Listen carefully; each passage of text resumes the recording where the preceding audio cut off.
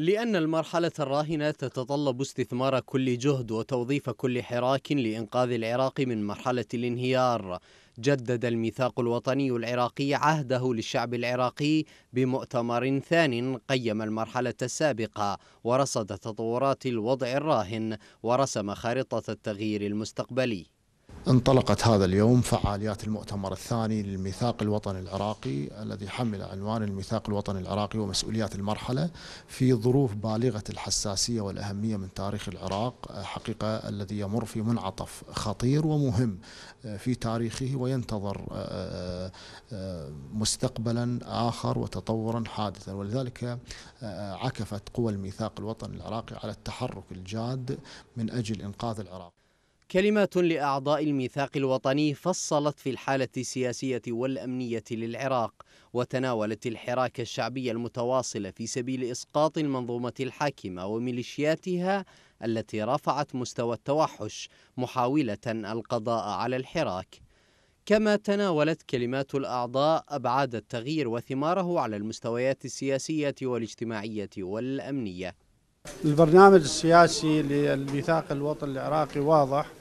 هو لم آه، يضع سقفا زمنيا محددا آه، في الوصول أو الوصول إلى أهدافه المتمثلة بتحرير العراق وتخليص شعبه من هذه العملية السياسية وممارسات أجهزتها الأمنية ومحاولات تفتيت وتدمير البنية المجتمعية للعراق. وهذه الخطوات أكيد تتطلب جهود كبيرة. كان لابد أن يتغير أسلوب المقاومة.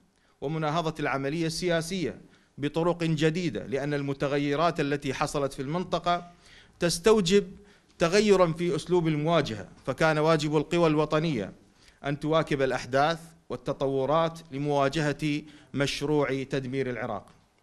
وأن تعمل على مشروع يمكن من خلاله جمع المتفرقين والمناهضين للعملية السياسية للوقوف صفا واحدا أمام آلات القتل والدمار.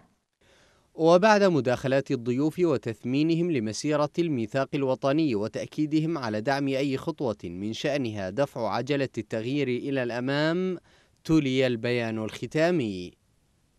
البيان الختامي للمؤتمر الثاني للميثاق الوطني العراقي 20 من رجب 1442 هجرية الموافق يوم الأربعاء